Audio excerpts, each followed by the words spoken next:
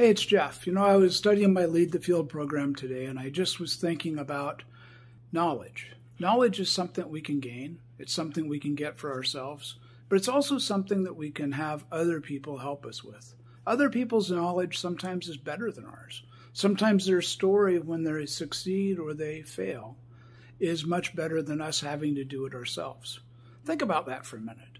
You know, Napoleon Hill said that an educated man is not one that is necessarily smart. He's one that knows how to help and use other people in a way that doesn't take anything away from them, but it helps him. You know, that concept, that idea of having people to support you, to have, have people grow with you, to have people help you with your concepts and ideas and desires and how to get there is really important. That's what it's all about in a group coaching setting where we're working together, masterminding on a process that we all have a desire that we want to reach. And it's really important to have a good group, and it's important to have a good leader so that you don't get off track.